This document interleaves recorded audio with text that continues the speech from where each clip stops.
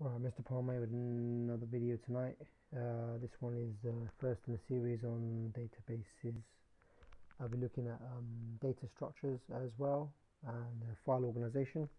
But this one's a quick uh, whistle stop tour is an introduction to databases. So I'm jumping backwards and forwards to the spec in a way that I think is logical um, in order to go through database theory. Okay. Uh, so again, for my students who still keep bugging me about music repeatedly, Okay, here we go. The Roots featuring Erykah Badu. You got me. Go watch that. So the big questions for this are basically why use databases and how is the power of databases actually leveraged in order to provide benefits to uh, users and organizations. All right.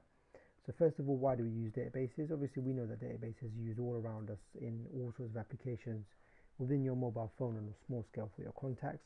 On a larger scale with your mobile phone, your, the network provider maintains like a database of customers, mobile phone numbers, services that you're subscribing to, um, uh, transmission towers, and you know accounting purposes, call logs, all sorts of stuff. Okay, um, the police, yeah, your school, probably use Sims. Okay, so um, we're using those databases basically because it allows us to retrieve data quickly. We can update the data, we can filter it. Okay, that allows the users within an organization to basically have the most up-to-date data in order to perform their job um, in a prompt fashion. Obviously, the quicker user, the companies can deliver services, the more money they earn. All right. Um, obviously, also in terms of uh, organizations like the police, it's more about delivering services in a prompt manner to keep people safe. So you can see different um, uh, in different applications there, there are different benefits of that prompt uh, service okay? Also another important thing that databases allow us to do is we can set user access rights so we can control who can do what with the data and linked to that we can basically set views of the data. So the basic database structure is something like this. The entire all your data is organized in a table okay? This is a flat file database so there is a single table and a later video is going to look at the difference between flat file and relational databases uh, within the table you have fields, they're, they're, the column headings, they're the individual bits of data that we want to store. And then we have records, which is a group of related data about one particular object. Okay, so for example, that record is the record belonging to Reg Vardy, who is a male, 15 years old, whatever it is. Okay, so um, that that's um, the basic database structure. This is the flat file database, single table. Okay, so what is a database management system? Basically a database management, a DBMS is a database management system.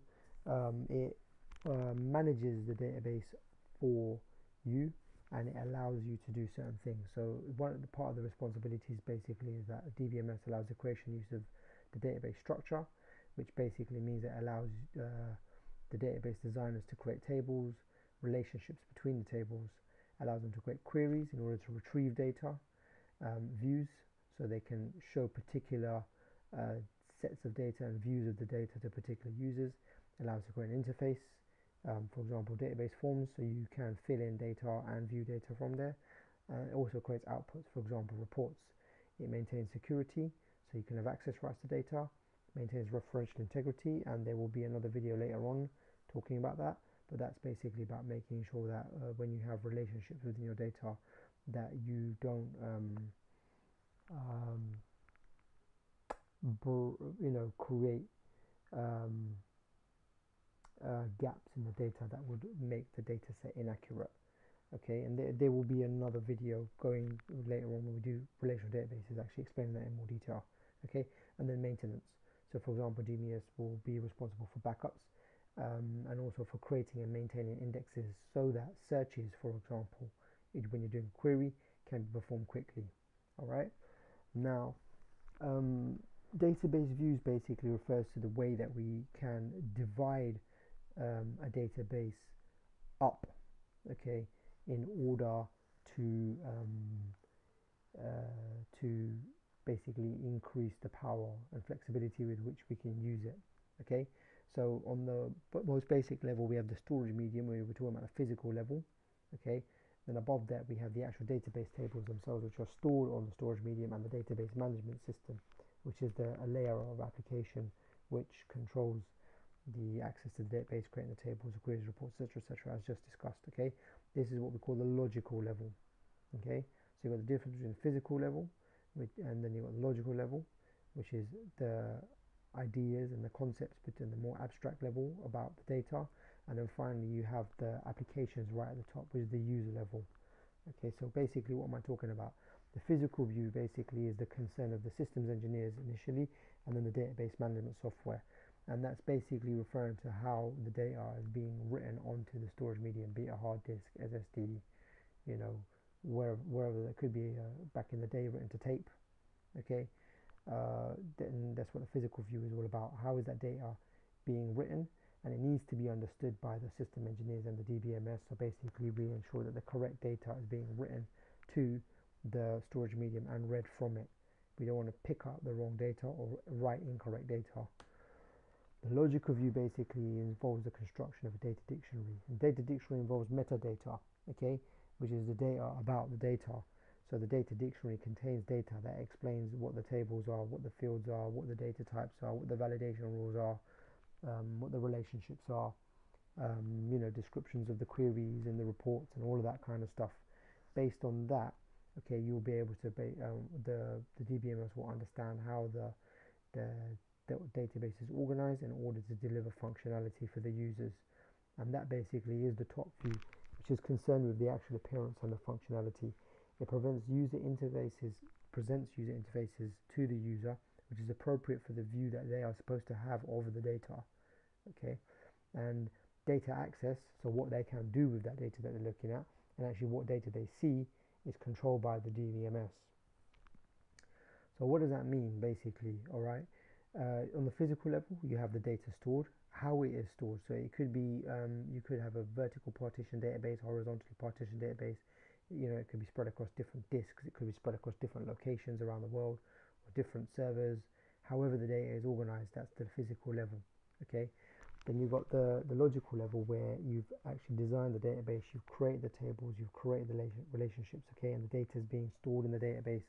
You have access rights, so certain people with particular logins can only see certain data, or they can't see certain data, or they can write certain data, and they can delete certain data or maybe they can only see it but they can't read it uh, sorry they can only read it but they can't write okay or edit so you you different people will have different views of the data based on their job and then the top level of the applications. So for example in the supermarket you'd have checkouts okay you'd have the accounting. You might have a mobile app that you have on your phone that you can use to do your grocery shopping have delivered in your home all right? So all of those checkouts and the accounting systems and the um, the stock management system and the the mobile app they all are applications at the user level because there are people using those applications to perform whatever get out whatever functionality they need they need. However all of those different people have different access rights. The accountants may need to be able to see certain data that the user end user the shopper at home doesn't need to be able to see.